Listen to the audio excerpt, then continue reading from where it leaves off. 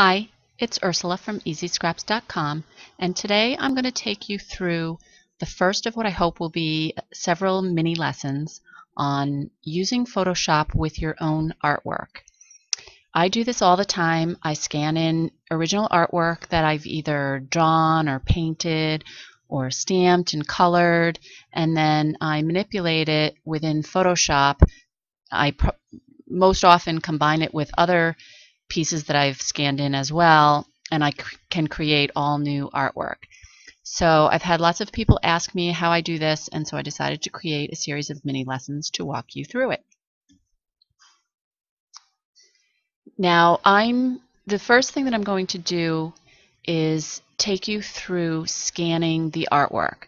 And just so that you know, I'm using all my own original artwork if you're going to sell anything, you need to pay attention to copyright laws. And so your best bet is to use your own original artwork.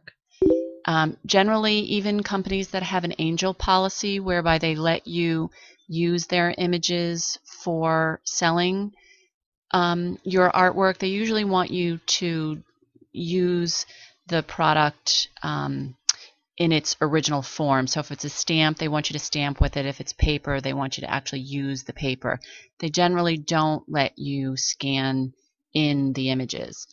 But if it's your own artwork, you can scan to your heart's content and sell whatever you make with it.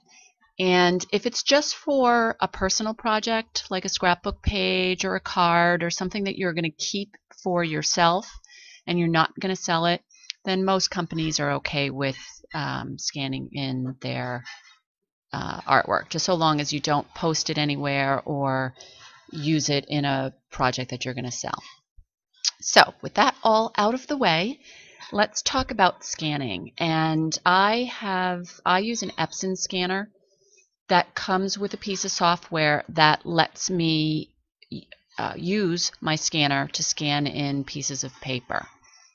And so most scanners have a piece of software that you can use to do the same thing. And I just wanted to point out a couple of things. One is that my scanner software comes with a couple of different modes. Uh, full auto mode basically does everything for you. The best bet when you're working with your scanner, if at all possible, you want to be in professional mode. That lets you determine where your files are going to end up on your computer and most importantly, it can um, help you change the resolution that you're going to be scanning things in at. So uh, the way that I like, there's all kinds of information out there on resolution. Most books on Photoshop and um, printing will talk about resolution. The, the easiest way I found to think about it is you want to think about it in terms of your printer or, or, or, your ultimate output device. I'm assuming that most of the work that I'm going to be doing is going to be destined for the printer. Um, if you're using your artwork that's and it's going to end up on a website, the resolution will be different. So my printer software I know runs at 300 pixels per inch. And so when I scan things in, I want to take that into consideration. If I was going to use this, eh, if I was going to use everything that I scan in only for web work, I wouldn't actually need to set my resolution so high. But just in case I want to print it, I always print, I always scan in at least at the resolution of my printer. So in my case, it's 300 dpi and most good printers where you can print photographs and that sort of thing run at a, in and around that same resolution so uh, we're going I'm going to actually do a preview right now and what that does is it's going to kind of give me a quick peek at what I'm trying to scan in um, on my scanner. It's not actually going to do the scanning completely. It's just going to give me a um, preview. So here's a drawing that I did and it needs lots of work. uh, and, and, so I want to scan it in and I'll probably end up manipulating it within Photoshop.